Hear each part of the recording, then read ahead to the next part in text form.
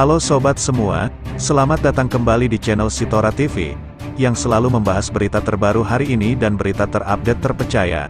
Oh ya sebelum Mimin bacakan berita, Mimin mohon kepada kalian semua untuk subscribe channel ini, dan jangan lupa like dan komen. Oke langsung saja kita mulai ke berita yang pertama.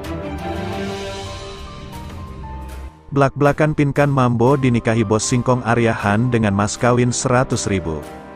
Penyanyi Pinkan Mambo kembali heboh karena menikah dengan selebgram Arya Han.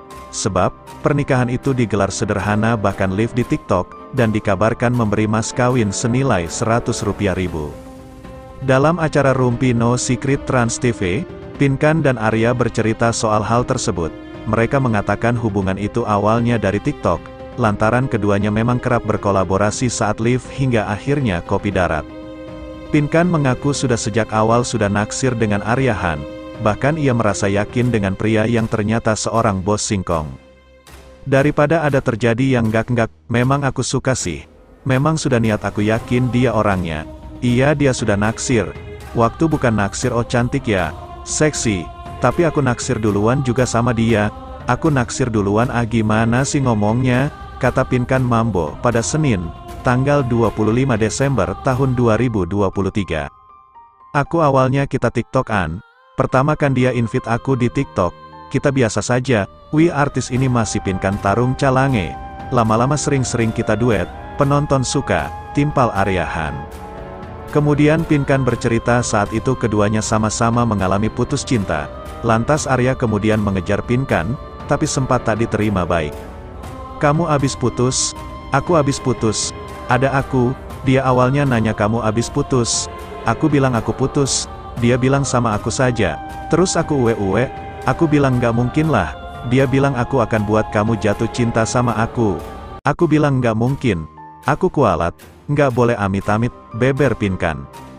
Aku nanya kabar dia, dia bilang kurang baik abis putus, aku bilang tenang ada aku, sahut Aryahan. Sampai saat ini aku nggak sadar, timpal Pinkan bercanda.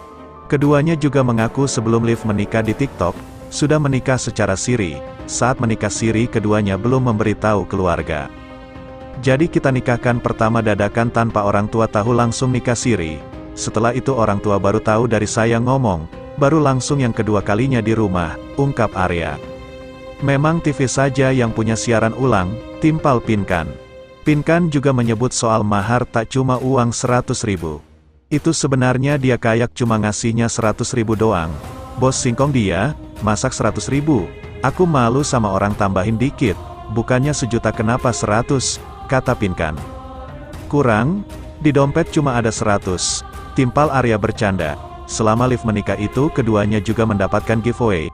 Bahkan totalnya tembus jutaan.